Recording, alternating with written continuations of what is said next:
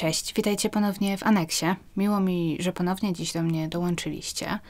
I dziś mówimy o sprawie stosunkowo świeżej, nowej, która wciąż jest w toku. Zazwyczaj nie robię podcastów o sprawach tak świeżych, zwyczajnie wolę zaczekać, aż wyjdzie więcej informacji. Ale w ciągu ubiegłego roku otrzymałam od Was wiele wiadomości na temat tej właśnie sprawy.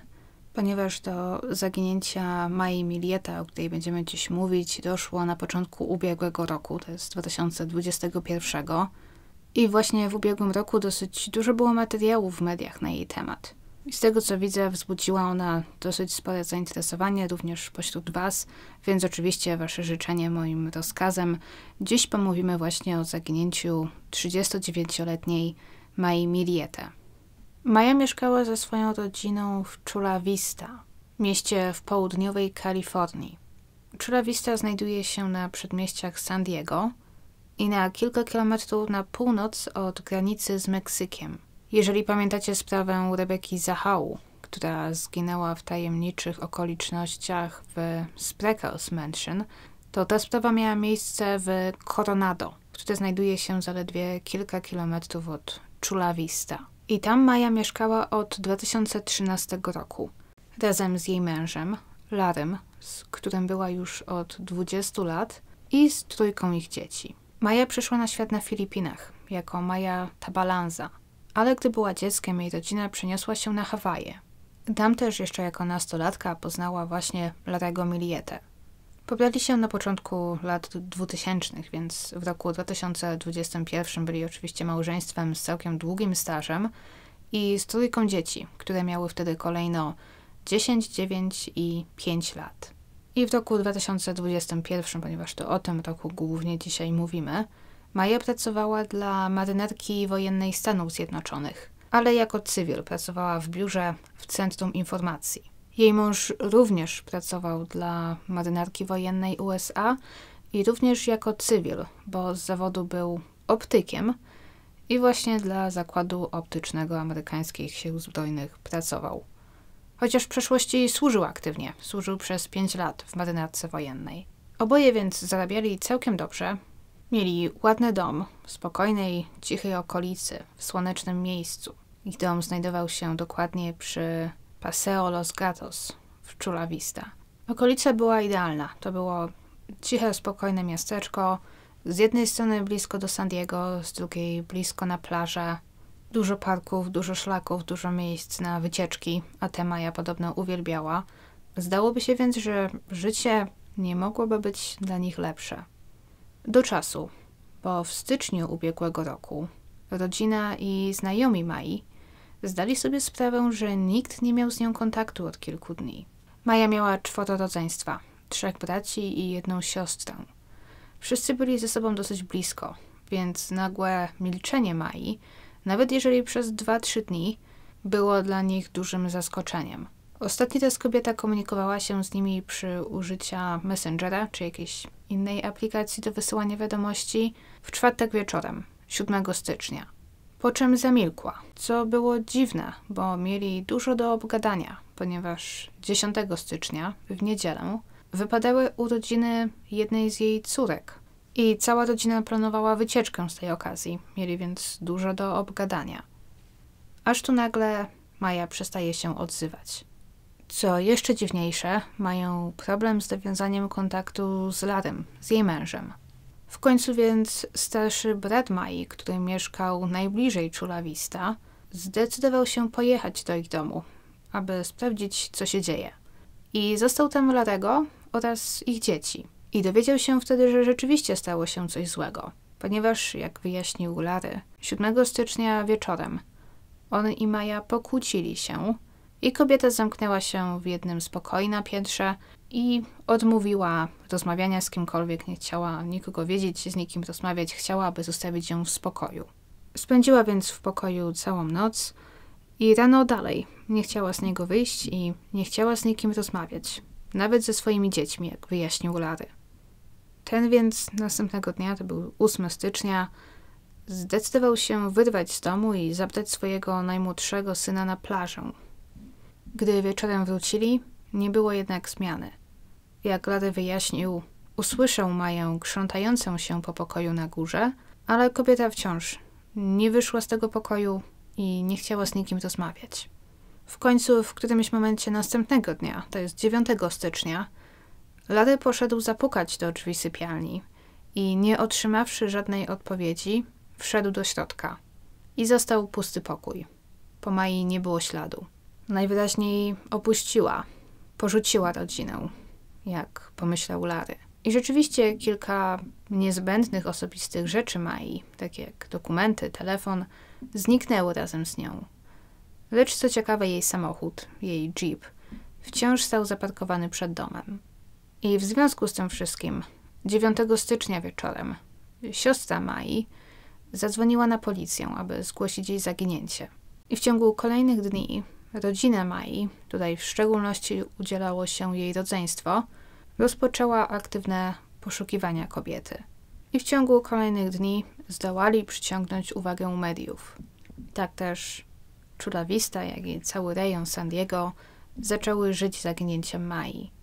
Z okolic zaczęli zjeżdżać wolontariusze, różni cywile, którzy chcieli pomóc w jej poszukiwaniach. Te organizowano w szczególności w okolicach domu Mai, parkach na pustyni wokół Chula Vista czy wokół San Diego, w miejscach, w których teoretycznie Maja mogła z jakiegoś powodu się znajdować, miejsca, do których mogła teoretycznie chcieć pojechać, ponieważ na przykład bywała tam wcześniej. Prędko rozeszła się wiadomość, że w czasie właśnie takich poszukiwań na pustyni znaleziono kości, jednak później okazało się, że były to kości zwierzęce.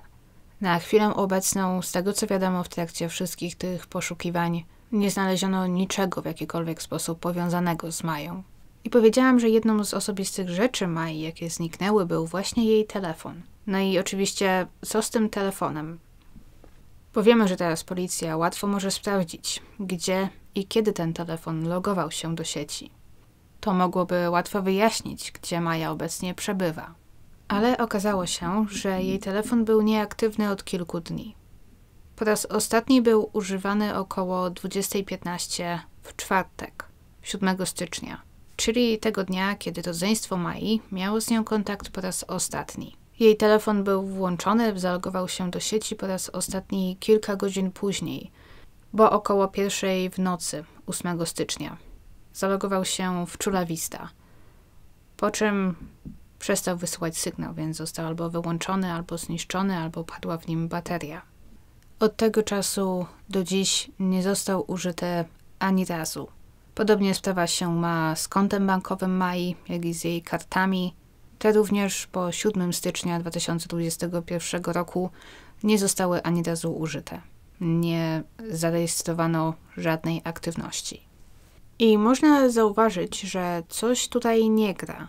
Maja spędza dwa dni zamknięta w swojej sypialni, ponieważ pokłóciła się z mężem. A ten przez te dwa dni próbuje normalnie żyć, zajmować się dziećmi i nie wchodzić jej w drogę. Okej, okay, to jest akurat ta część historii, która w miarę ma sens. Bo chyba każde małżeństwo, każdy związek z długoletnim stażem wie, że czasem po jakiejś kłótni najlepiej jest po prostu odpocząć sobie od siebie, przeczekać parę dni i wrócić do tematu, gdy emocje opadną, gdy wszyscy ochłoną. To nie jest akurat tak dziwne, ale to, co jest dziwne, to to, że Maja spędza dwa dni zamknięta w sypialni.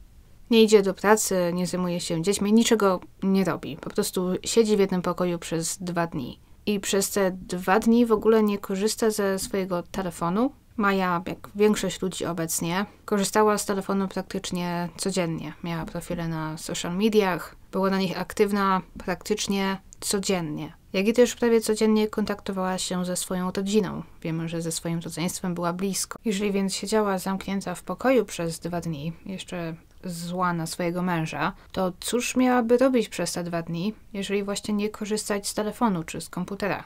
Korzystać z internetu, kontaktować się ze światem a tutaj nic. Wiemy też od rodzeństwa Mai, że gdy wcześniej coś złego działo się w jej małżeństwie, gdy miała jakieś problemy, zawsze od razu zwracała się do nich lub do przyjaciół, zawsze z kimś się tym dzieliła. Dlaczego więc tym razem było inaczej? Skąd to nagłe milczenie? No i właśnie, pomówmy o tej rzekomej małżeńskiej kłótni, która miała doprowadzić do dwudniowej izolacji Mai. Bo okazuje się, że w związku państwa Miliete nie działo się najlepiej.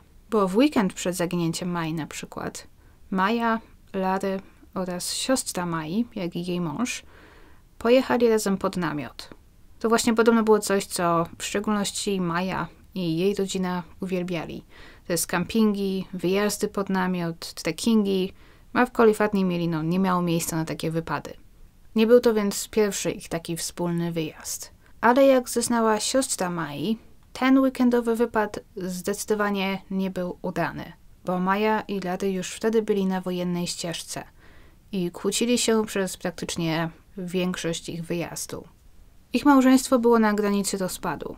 Jak się okazało, Lady podejrzewał Maję o romans, o zdradzanie go, a Maja zdawała się coraz poważniej myśleć o rozwodzie, o tym, aby Ladego zostawić. I większość ich konfliktów, tutaj według informacji głównie od rodzeństwa Mai, wyglądała właśnie tak, że Larry był bardzo zazdrosny, zaborczy, chciał za wszelką cenę ratować swoją rodzinę i chciał, aby Maja została z nim.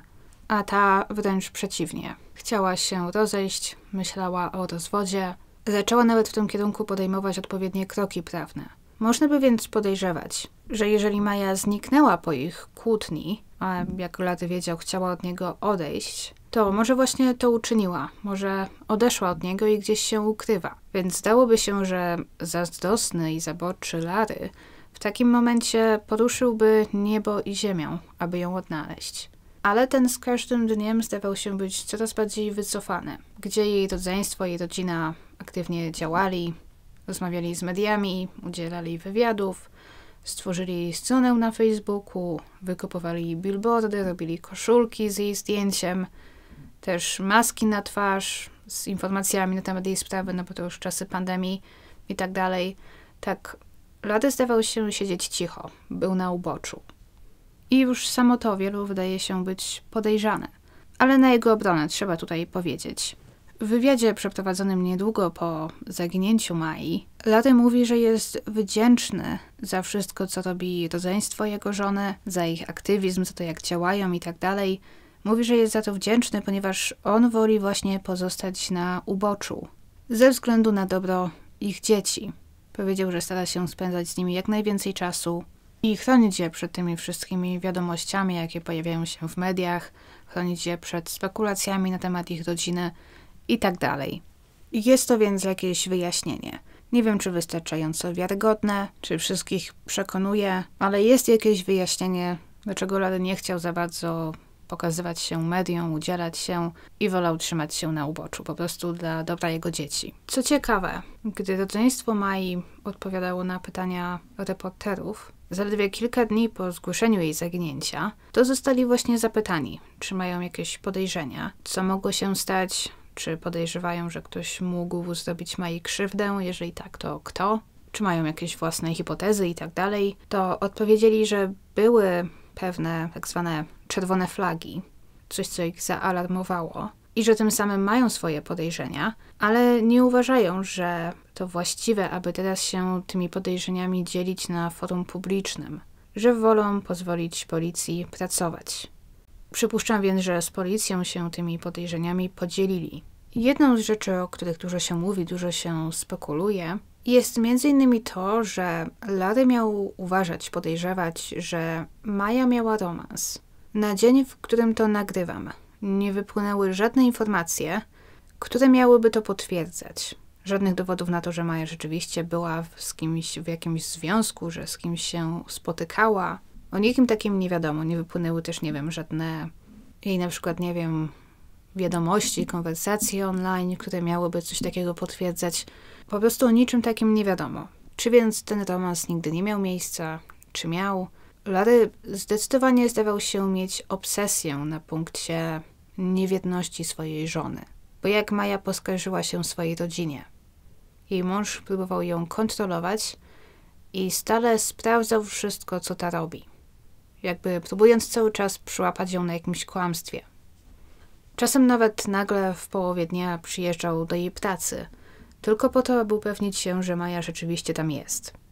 Wypytywał też jej rodzeństwo, jej znajomych o to, co Maja robi. Wypytywał, gdy na przykład Maja właśnie miała spotkać się z kimś z rodziny czy z jakąś przyjaciółką, to na przykład później próbował się z nimi skontaktować i upewnić, że Maja rzeczywiście właśnie z nimi się spotkała, rzeczywiście pojechała tam, gdzie powiedziała, że pojechała i robiła to, co powiedziała, że będzie robić. Raz nawet miał zapytać brata Mai, czy ten wie, kim jest ten tajemniczy chłopak jego siostry i czy ten pomoże mu go dorwać. Nie wiem, jaka była na to odpowiedź. Znów nie wiadomo, czy Maja w ogóle właśnie jakiegoś tajemniczego chłopaka miała. Możliwe, że nie. Poza tym Larry zaczął stawać się agresywny w stosunku do Mai. Jak kobieta powiedziała bliskim. W jednym przypadku, podczas ich kłótni, jej mąż rzucił się na nią i zaczął dusić. Do tego stopnia, że Maja straciła przytomność. To jest przynajmniej jeden stany przypadek, kiedy Larry użył przemocy w stosunku do Mai. Możliwe, że tych było więcej. Ale gdy się o tym dowiedzieli, jej bliscy zaczęli od razu prosić ją, aby Maja wyprowadziła się z domu jak najprędzej. Uważali, że Maja jest w niebezpieczeństwie i że nie powinna z kimś takim mieszkać pod jednym dachem. I mieli rację. Ale Maja nie sądziła, że jest w niebezpieczeństwie, a poza tym były jeszcze dzieci. Maja rzeczywiście zaczęła myśleć o tym, aby się rozwieść i zostawić Larego, ale nie miała zamiaru zostawiać z nim dzieci. Chciała uzyskać prawo do opieki nad nimi drogą sądową. 6 stycznia, a więc na dzień przed swoim zaginięciem, Maja wysłała przyjaciółce wiadomość tekstową, mówiąc właśnie o tym, że powiedziała Laremu o swoich planach. A 7 stycznia znów, a więc na jakieś kilka godzin przed swoim zaginięciem, odbyła spotkanie z adwokatem w tej sprawie. I rodzina Mai podzieliła się tymi wszystkimi informacjami z policją, ale nawet jeszcze wtedy, pomimo tego wszystkiego, co wiedzieli, wciąż mieli wątpliwości co do tego, czy Larry mógłby skrzywdzić Maję. Wciąż chcieli wierzyć, że Maja się odnajdzie i nie dopuszczali do siebie myśli, że jej mąż mógłby coś jej zrobić. Ale chyba z kolejnymi odkryciami policji ich wiara w niego zaczęła słabnąć. Policja uzyskała nakaz przeszukania domów Czurawista i z tego co obecnie wiadomo, nie znaleźli niczego bezpośrednio związanego z zaginięciem Mai. Ciekawszy jednak okazał się być telefon Larego, czy też to, co na nim znaleziono. Po pierwsze, przed przekazaniem telefonu policji, Larry wykasował wszystkie wiadomości tekstowe i konwersacje ze swoją żoną. Nie wykasował jednak historii wyszukiwania w swojej przeglądarce, a może powinien był, chociaż i tak wiem, że ta może być łatwo odzyskana. Bo jak odkryto, w roku 2020 oraz na początku 2021 Larry googlował takie rzeczy jak nazwy trujących roślin, nazwy substancji odurzających. Znalazła się tam też fraza Moja żona nie chce, abym jej dotykał. Tak jakby Larry szukał wyjaśnienia, dlaczego tak może być i jak temu zaradzić. Wylądował też na stronach internetowych, na portalach z wróżkami, wróżbitami itd. I zaczął właśnie płacić za różne konsultacje i wróżby. I zaczął prosić tych, nie wiem jak mam ich nazwać, wróżbitów chyba po prostu. Zaczął ich prosić, aby rzucali dla niego uroki na jego żonę. I wkręcił się w to chyba dosyć mocno, bo pomiędzy wrześniem 2020 roku a styczniem 2021 odwiedzał te strony praktycznie codziennie. Zaczął od wykupowania tak zwanych uroków miłosnych, które te miały być rzucane na Maję, aby tego z powrotem pokochała, aby go nie zostawiała, nie odchodziła od niego. Uroki te najwyraźniej nie działały, bo Maja była coraz bardziej zdeterminowana, aby wydostać się z tego małżeństwa. A jej mąż, chyba zamiast zorientować się, że te internetowe uroki to zwyczajne oszustwa i strata pieniędzy, mocno wkręcił się w to wszystko. I wykupował kolejne czary, kolejne uroki. Przerzucił się jednak stopniowo z tych uroków miłosnych do uroków, nie wiem, szkodzących, takie nazwę do czegoś, co nie można nazwać czarną magią, bo prosił tych wróżbitów czy szamanów, aby sprawili, że Mai stanie się coś złego. W jednej wiadomości na czacie z takim szamanem napisał coś takiego. Proszę, zrób Mai krzywdę. Unieruchom ją na tyle, aby nie mogła wychodzić z domu. Czy może skrzywdzić ją na tyle, aby musiała na mnie polegać i potrzebować mojej pomocy? Ona jest dla mnie miła tylko wtedy, gdy czegoś potrzebuje lub gdy jest chora. Myślałem o jakimś wypadku lub o złamanej kości, tak aby musiała na mnie polegać. Spraw proszę, aby zrozumiała, że jesteśmy dla siebie stworzeni i że beze mnie będzie nieszczęśliwa. Koniec cytatu. I te wszystkie czary, uroki, czarna magia to jest właśnie coś, co poniekąd tę sprawę wyróżnia. I inną taką dosyć kontrowersyjną i głośną rzeczą było to, że wypłynęło takie zdjęcie, które Larry miał wysłać jednemu ze swoich krewnych. I z tego, co widziałam, obecnie nie jest do końca pewne, czy za to, co na tym zdjęciu jest, odpowiedzialny jest Larry, czy może właśnie któryś z tych magików, nie magiku to nie jest dobre słowo, któryś z tych szamanów, wróżbitów jest za to odpowiedzialny. Bo wypłynęło zdjęcie czegoś, co wygląda na taki mały ołtarzyk, że tak go nazwę.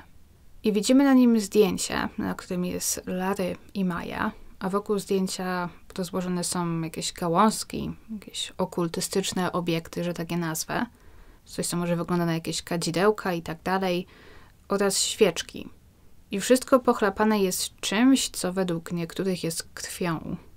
Krwią albo Larego, albo tego szamana, ale według innych źródeł snów to jest czerwony wosk, co moim zdaniem ma więcej sensu, ponieważ po pierwsze na tym zdjęciu rzeczywiście są czerwone świece, a poza tym rzeczywiście wygląda to po prostu bardziej na wosk niż na krew, przynajmniej moim zdaniem. Chociaż wiem, że krew po prostu brzmi bardziej kontrowersyjnie i szokująco. Moim zdaniem jest to raczej wosk, chociaż pewnie kiedyś dowiemy się dokładnie o co z tym chodziło. I nie wiadomo też do końca właśnie, kto w ogóle ten ołtarzyk stworzył. Czy był to sam Larry, który zrobił to może z polecenia jednego z tych wróżbitów, czy może któryś z tych wróżbitów tu znów zrobił dla niego. Tak czy inaczej, takie coś powstało, ponieważ Larry najwyraźniej próbował ratować swój związek. O dziwo, cóż za zaskoczenie, ołtarzyk ten nie pomógł jego małżeństwu. I to właśnie całe to myślenie magiczne i w ogóle wiara w magię Larego jest tym aspektem, który tak wyróżnia tę sprawę. Bo gdy Larry zorientował się, że Maja chce go zostawić, czy to ponieważ rzeczywiście poznała kogoś innego, czy może po prostu zwyczajnie z powodu samego Larego, jego agresji, tego jak się zachowywał, ale ten postanowił przeciwdziałać temu na wszelkie sposoby. Nie chciał rozpadu tego małżeństwa. I zaczął najwyraźniej prośbą i groźbą, ale gdy to nie działało, tak bardzo chyba nie mógł dopuścić do siebie myśli, że Maja go nie kocha, że chce go zostawić, że zwrócił się do czarów, do internetowych wróżek. I to jest właśnie moim zdaniem szokujące i w pewnym sensie przykre, że ktoś, kto służył w marynarce wojennej, kto wciąż na nich pracował, ktoś, kto był odpowiedzialny i miał na wychowaniu trójkę dzieci, miał pracę, w której był szanowany i tak dalej, wierzył w takie rzeczy i wydawał na nie niemałe pieniądze. I pamiętacie, powiedziałam, że Larry kontaktował się z wróżkami prawie codziennie, od września do stycznia. Można wręcz powiedzieć, że uzależnił się od tego rodzaju pomocy. Ale aż tu nagle, w styczniu zupełnie tego zaprzestaje. Tak dokładniej zaprzestaje tego po 7 stycznia. Bo wtedy też Larry wysłał wiadomość prosząc o odwrócenie uroku rzuconego na jego żonę i potem też zaprzestaje korzystania z tego serwisu. Nie loguje się na niego już nigdy więcej. I zdałoby się, że gdyby nie wiedział, co się stało z Mają, gdyby nie wiedział, gdzie ta jest, i gdyby rzeczywiście próbował ją odnaleźć, to zdałoby się, że w takim momencie zwątpienia, niepewności właśnie zwracałby się do wróżek, tak jak robił to wcześniej. Gdyby nie wiedział, gdzie Maja jest, to pewnie prosiłby wróżki, aby te pomogły mu go odnaleźć. Skoro tak w tę magię wierzył. Ale nie, on w ogóle zaprzestał używania tych serwisów, tak jakby magia przestała mu być potrzebna. Niektórzy uważają, że wskazuje to właśnie na to, że Larry nie potrzebował brać udziału w poszukiwaniach Mai. Nie potrzebował już pomocy wróżek i szamanów. Wciąż nie wiem, jak mam ich odpowiednio nazwać. Ale on nie potrzebował tej pomocy, ponieważ zwyczajnie wiedział, co stało się z Mają i gdzie ta jest. A wracając jeszcze do jego telefonu. Larry twierdził, że 8 stycznia wyszedł z domu na większość dnia. że zostawił swoją żonę w domu oraz swoje dwie najstarsze córki i zabrał ich najmłodszego syna na plażę na cały dzień. Policjanci chcieli oczywiście potwierdzić jego słowa i mogli to zrobić między innymi sprawdzając, gdzie jego telefon logował się do sieci. Ale niestety z jakiegoś powodu Larry tamtego dnia nie zabrał ze sobą swojego telefonu. Zostawił go w domu. I jego telefon nie był aktywny przez praktycznie cały dzień, przez 11 godzin. Co też ciekawe, w dniach po zniknięciu Mai, ale jeszcze przed tym, gdy jej siostra oficjalnie zgłosiła jej zaginięcie, Larry nie pojechał do pracy. Wziął wolne, ale pierwszego dnia, to jest 8 stycznia, czyli w tym dniu, kiedy to rzekomo pojechał z synem na plażę i pierwszego dnia, kiedy z Mają nie było kontaktu, nie pojawił się w pracy, nie uprzedzając o tym wcześniej. Także jego szef wyzwaniał do niego, nie mógł się z nim skontaktować, ponieważ jak wiemy, Lady z jakiegoś powodu zostawił telefon w domu. Podobno nigdy wcześniej coś takiego mu się nie przydarzyło, żeby nie pojawić się w pracy przez cały dzień i nie zadzwonić wcześniej, nie powiedzieć, że jest chory, nie wziąć wolnego czy coś w tym stylu. Jakiś czas po zniknięciu Mai, Lady zaczął powoli urywać kontakt z jej rodziną. Nie pozwalał też na ich kontakt z ich dziećmi. Zatrudnił też adwokata, co oczywiście, biorąc pod uwagę, jak to wszystko się potoczyło, jest właściwą decyzją. Zaryzykowałabym w ogóle stwierdzenie, że gdy w tak tajemniczych okolicznościach komuś znika małżonek, to zatrudnienie adwokata powinno być standardem, bo tak, jak wiemy, mąż zawsze będzie pierwszym podejrzanym. Czasem jedna niewłaściwa uwaga, jedna źle podjęta decyzja, jedno niewłaściwe słowo może wpędzić niewinną osobę w kłopoty. Ale to tylko mówiąc ogólnikowo. Pomimo, że chcę zawsze wszystkich, o których mówię, traktować jak najuczciwiej, tak równo i obiektywnie, jak jest to tylko możliwe, i staram się nie wyciągać pochopnych wniosków, tak Larego Milietę momentami ciężko jest bronić, jakkolwiek mu się nie starała. Jeżeli śledziliście tę sprawę, to możliwe też, że kojarzycie, że media wypuściły nagranie z kamery, kamery zamontowanej w domu sąsiadów małżeństwa Milietę. Bo oczywiście policja sprawdziła monitoring w okolicy, głównie właśnie w trakcie tej nocy, kiedy wierzy się Maja zniknęła w nadziei, że może ta właśnie zostanie gdzieś nagrana, że może coś się wyjaśni, wyjaśni się, że na przykład ktoś przyjechał do ich domu i tak dalej. I niestety żadna z tych kamer nie nagrała niczego ważnego, jeżeli chodzi o obraz, ale jak się okazało, jest jedno nagranie, na którym wprawdzie niczego nie widać, ale coś słychać. A słychać strzały mianowicie, bo o 21.57 czyli jakieś dwie godziny po tym, gdy Maja kontaktowała się z rodziną po raz ostatni, kamera ich sąsiadów nagrała osiem następujących po sobie głośnych huków. Coś, co może brzmieć jak wystrzały z broni palnej. W momencie, gdy te padają, słychać też szczekanie psa, który przypuszczam znajdował się gdzieś w okolicy, może w jednym z ogródków któregoś z domów i szczekał w reakcji na te hałasy. I przy temacie broni będąc. Okazuje się, że Larry miał legalnie zarejestrowanych kilka sztuk broni, ale podczas przeszukania jego domu ta broń nie została znaleziona, bo Larry, jak wyjaśnił, jakiś czas wcześniej oddał ją na przechowanie swojemu wujkowi. Ile wcześniej i dlaczego? Nie wiem. Czymś, co jednak znaleziono w jego domu, czegoś, co najwyraźniej Larry nie przekazał wujkowi, był jakiś rodzaj karabinu, który podobno nie jest dopuszczalny przez kalifornijskie prawo. I ten też został mu odebrany. Jak się też później okaże, Larry miał w swoim posiadaniu nie cztery sztuki broni, jak to wcześniej na początku twierdził, a ponad 16. I te też właśnie zostały znalezione później w domu jego wujka, gdy policja otrzymała odpowiedni nakaz przeszukania. I oczywiście powstaje pytanie, czy z której z tych broni ostatnio strzelano? I czy to właśnie taki los spotkał Maję? I czy to właśnie dlatego około 22 7 stycznia w ich sąsiedztwie słyszano strzały. Na to nie ma jeszcze odpowiedzi. Wiemy, że nagranie z kamery sąsiadów było analizowane, ale eksperci nie są niestety pewni, czy to, co na nim słychać, to rzeczywiście strzały, czy może coś innego. Nie wiadomo też nic o tym, aby w ich domu czy w ich ogrodzie znaleziono jakieś ślady krwi na przykład, bo takie przecież musiały gdzieś być, jeżeli Maja została zastrzelona. Wiemy, że policja wykonała testy luminolem w ich domu, przy przynajmniej dwóch okazjach, ale nie wiadomo nic, aby te ujawniły jakieś ślady krwi, które ktoś na przykład usiłował zmyć w ostatnim czasie. Jeżeli chodzi o tą broń, którą znaleziono i którą zarekwitowano, to Larry później bronił się, mówiąc, że wszystko, co posiada, zakupił legalnie i że Maja wiedziała o jego kolekcji i że nie miała co do niej żadnych obiekcji. Zapewniał też, że ze względu na swoje doświadczenie w marynarce wojennej, wiedział, jak obchodzić się z bronią w bezpieczny sposób, że przechowywał ją w domu w zamkniętym sejfie i że nigdy na przykład nie dopuściłby swoich dzieci nigdzie blisko tej broni. Ale chyba nie zawsze przestrzegał wszystkich zasad bezpieczeństwa, bo później wypłynęło jego zdjęcie. Nie jestem pewna, czy to zdjęcie znaleziono na jego telefonie, czy może Lady kiedyś komuś je wysłał, ale tak czy inaczej na jakiś czas przed zniknięciem Mai, Lady zrobił zdjęcie swoim telefonem.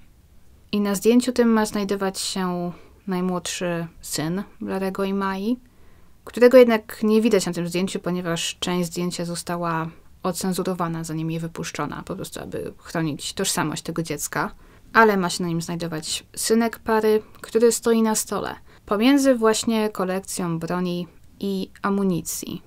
Zdjęcie, które Lara chyba wykonał dla szpanu. Nie wiem. I mimo, że nie wiadomo nic o żadnych konkretnych dowodach fizycznych na chwilę obecną, to znaczy nie wiadomo nic o tym, aby na przykład w domu znaleziono ślady krwi, aby z którejś z tych broni strzelano i tak dalej, to 22 lipca 2021 roku Larry Miliete został oficjalnie uznany podejrzanym w sprawie zaginięcia Mai, a 19 października został aresztowany pod zarzutem morderstwa Mai. Uzasadniono, że mimo, że do dziś Mai nie znaleziono, nie znaleziono jej ciała, to podejrzewa się, że kobieta nie żyje i że Larry miał najmocniejszy motyw, aby pozbawić ją życia. Tutaj przytoczono właśnie innymi wszystkie dowody na to, że Larry nie chciał w żadnym wypadku dopuścić do tego, aby Maja go zostawiła, aby jego małżeństwo się rozpadło. Oraz wiadomości, w których Larry prosił o rzucenie uroku na Maję, tak aby tej stało się coś złego i aby musiała być od niego zależna. Larry jednak utrzymuje, że jest niewinny. Wciąż twierdzi, że Maja musiała porzucić jego i dzieci. Ponieważ, jak zeznał, w roku 2020 Maja co najmniej dwa razy opuściła ich dom na jakiś nieokreślony czas, nie mówiąc nikomu, gdzie wyjeżdża, co robi, gdzie przebywa i nie kontaktując się ani z nim, ani z dziećmi. Lady uważał, że na początku, gdy Maja zniknęła, to podejrzewał, że stało się coś podobnego. Dlatego też nie zależało mu na tym, aby na przykład zgłaszać jej zaginięcie na policję, czy też nie potrzebował angażować się w jej poszukiwania, ponieważ zakładał, że Maja po prostu wyszła z domu pod jego nieobecność i że we właściwym momencie wróci. Z tym, że nie wróciła, jak wiemy, przez ponad rok już. I to jest w ogóle narracja, której Larry trzyma się od początku. To znaczy Maja uciekła, zniknęła z własnej woli. Wiele osób podkreśla, że to też musi być okropne dla jego dzieci. Jeżeli Larry przekonał je, wpoił im, że ich mama je zostawiła, w momencie, gdy możliwie sam jest odpowiedzialny za ich zniknięcie – z jeszcze innych rzeczy, jakie wyszły na światło dzienne. Jak wiemy, Maja i Larry poznali się w latach 90. na Hawajach, gdzie oboje wtedy mieszkali. Rodzina Larry'ego przeniosła się tam z Kalifornii, z San Diego, potem gdy 15-letni zaledwie Larry popadł w konflikt z prawem, bo był on wtedy częścią czegoś, co nazwano nastoletnim gangiem. I będąc częścią tego gangu, Larry i dwóch jego kumpli napadło na siedemnastolatka, którego ciężko pobili i któremu zadali kilka ciosów nożem. Nastolatek przeżył na szczęście, a Larry i dwóch innych nieletnich chłopaków zostało zatrzymanych. Nie jestem pewna, jaką karę wtedy ponieśli, ale później właśnie rodzina Larego zdecydowała, że najlepiej zrobi mu zmianę otoczenia. Tak też przynieśli się na Hawaje. Mieli nadzieję, że Larry oddzielony od swoich kumpli, od złych wpływów, wyprostuje, naprawi swoje życie, że tak to ujmę, ogarnie się. Nie wiadomo nic o tym, aby wchodził w jakieś konflikty z prawem. Ale mimo to byłem zaskoczona, że pomimo tego, czego dopuścił się w wieku 15 lat, wciąż był dopuszczony do służby w marynarce wojennej. Pomyślałabym, że takie coś by go przekreśliło, a tutaj najwyraźniej niekoniecznie. I znów ciężko jest wykorzystywać przeciwko mu coś, co zrobił, gdy miał 15 lat. Bo w czasie, kiedy mówimy, Larry ma lat 40, więc oczywiście wiele, wiele mogło się w jego życiu, w jego zachowaniu zmienić. Nie można tej jednej rzeczy całe życie wykorzystywać przeciwko niemu, ale z drugiej strony odnoszę trochę wrażenie, że Larry to był taki, nie wiem, wannabe gangster trochę. Jako nastolatek dołącza do gangu, później kolekcjonuje broń i tak dalej. Pojawia się też skłonność do przemocy, jak widzimy. Zdecydowanie pozostaje żałować, że Maja nie zdołała rozwieść się z Larym, że nie zdołała wyprowadzić się przed 7 stycznia. I co w takim razie stało się z Mają? Jeżeli założymy, że ta zginęła w swoim domu z ręki męża, to na chwilę obecną nie ma żadnych fizycznych, żadnych namacalnych śladów, że tak było. Nie wiemy nic o tym, aby policja znalazła jakieś ślady krwi, aby na przykład odkryto, że nie wiem, z domu nagle zniknął dywan na przykład. Nic z tych rzeczy. O co więc chodzi z tym czymś, co brzmi jak wystrzały z pistoletu w nocy jej zaginięcia? Czy to oznacza w takim razie, że te dźwięki, te huki słyszane tamtej nocy są z jej zaginięciem zupełnie niezwiązane? I coś, co też nie daje mi spokoju. Co w takim razie z jej dziećmi? No nie mówimy tutaj o niemowlętach. Ich najstarsze córki miały wtedy 10 i 9 lat, więc zdecydowanie wiedziały, rozumiały, co się dzieje. A ze wszystkich źródeł wynika, że były obecne w domu z nocy z 7 na 8 stycznia, gdy Maja zniknęła. Więc jeżeli Maja tej nocy zginęła z ręki męża, to czy jest możliwe, że dzieci coś słyszały? Że o czymś wiedzą, że mają jakieś pojęcie, co się wtedy wydarzyło? Wiemy też, że 8 stycznia Lady zabrał swojego najmłodszego syna i pojechał z nim gdzieś, jak twierdzi, na plażę i zniknął na 11 godzin. Przypuszczam, że zostawił swoje dwie najstarsze córki w domu, ponieważ te oczywiście chodziły już wtedy do szkoły. Nie wiem, czy wtedy wciąż e, w Chula Vista, czy w Kalifornii może ogólnie dzieci miały szkołę w domu, to znaczy wszystko odbywało się online i jego córki po prostu zostały w domu, czy może poszły do szkoły. Ale to może tłumaczyć, dlaczego nie mógł zabrać swoich córek ze sobą, a zabrał tylko swojego pięcioletniego syna, który oczywiście do szkoły jeszcze nie chodził. Ale jeżeli wszystko potoczyło się tak, jak podejrzewa się, że się to potoczyło, i Larry tamtego dnia, 8 stycznia, pojechał gdzieś, aby ukryć ciało swojej żony, jeżeli to właśnie miało miejsce, to oznacza, że Larry zrobił to w towarzystwie swojego pięcioletniego syna. Co, jeżeli tak było, jest oczywiście okropne. Larry Miliete obecnie przebywa w areszcie. Oczekuje na proces. Odmówiono mu wyjścia na wolność za kaucją, ponieważ sąd uznał, że Larry może być niebezpieczny lub może uciec, jeżeli zostanie pozostawiony na wolności, jeżeli na wolności pozwoli mu się oczekiwać na proces. I Laremu wyraźnie zależy na jego dzieciach albo przynajmniej na tym, aby były po jego stronie, ponieważ dzwonił do nich z aresztu praktycznie codziennie. Coś, czego sąd mu ostatnio zakazał, ponieważ jego dzieci uznawane są za świadków, co może znaczyć, że rzeczywiście coś widziały, coś słyszały i teoretycznie będą mogły zeznawać podczas jego procesu, jeżeli do niego dojdzie. A wszystko wskazuje na to, że dojdzie, ponieważ Larry obstaje przy swojej niewinności. I raczej nie dojdzie tutaj do jakiejś ugody, że Larry przyzna się, że na przykład rzeczywiście zabił Maję, powie, gdzie ukrył jej ciało i pójdzie na ugodę i tak dalej, i sprawa nigdy nie trafi do sądu. On obstaje przy swojej niewinności i wiele wskazuje na to, że będzie się tego trzymał do końca. Gdzie w takim razie jest Maja? Mam nadzieję, że w końcu się tego dowiemy. Czy Larry jest odpowiedzialny za jej zniknięcie? Moim zdaniem wszystko wskazuje na to, że tak. Wiele wskazuje na to, że Larry może w przypływie wściekłości, słysząc o tym, że Maja tamtego dnia spotkała się z adwokatem, że miała go zostawić i tak dalej, rzeczywiście zdobił jej krzywdę. Jest wiele rzeczy, które wskazuje na to, że był do tego zdolny. Natomiast jeżeli tak było, to wciąż chciałabym zobaczyć jakieś fizyczne dowody, które na to wskazują, a nie tylko to, że Larry budował ołtarzyki, czy prosił o uroki i tak dalej. I nie wiem jak wam, ale mnie ta sprawa troszkę skojarzyła się ze sprawą um, Heli Crafts, o której mówiliśmy kilka miesięcy wcześniej. To jest to tak zwane morderstwo z rębakiem do drewna. Tutaj oczywiście o żadnym rębaku nie było jeszcze mowy, ale jest kilka podobnych rzeczy. To znaczy, żona znika w nocy, gdy przybywa w domu razem ze swoim mężem i ze swoimi dziećmi. W ich małżeństwie również nie działo się najlepiej. Hela również właśnie planowała zostawić Richarda i również zatrudniła adwokata. A potem, gdy zniknęła, jej mąż również próbował wszystkich przekonywać, że najwyraźniej gdzieś wyjechała, że go zostawiła i próbował żyć dalej tak jak zawsze, jakby nic się nie stało. Jeżeli do procesu Larego dojdzie i dowiemy się czegoś więcej, myślę, że zrobimy jakiś update na temat tej sprawy. Nie wiem, czy wyjdzie z tego jakiś jeden osobny podcast, czy będzie na tyle informacji, żeby zrobić jakąś drugą część, ale jestem pewna, że do tego wrócimy. I swoją drogą też, bo wiem, że pytaliście, w najbliższej przyszłości też planuję zrobić taki dodatkowy odcinek, taki odcinek zbiorczy z różnymi update'ami z kilku spraw, o których mówiliśmy w przeszłości, w których ostatnio właśnie wyszły jakieś nowe informacje. Więc coś takiego na pewno w najbliższej przyszłości się pojawi. I to chyba tyle na dziś. Dziękuję Wam wszystkim za słuchanie, dziękuję za oglądanie i słyszymy się za tydzień, jak zawsze. Trzymajcie się. Pa!